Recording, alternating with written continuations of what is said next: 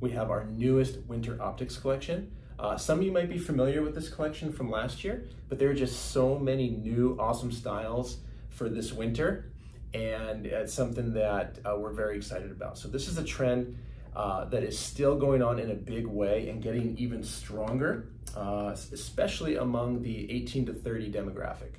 Okay, so these are 90s inspired retro sport glasses with oversized frames and uh, fun and fun and colorful uh, patterns and reflective lenses that have just been blowing out for us. We're getting many, many requests and the demand and popularity of this particular collection just, just keeps on going. And uh, that's gonna be the case this winter as well.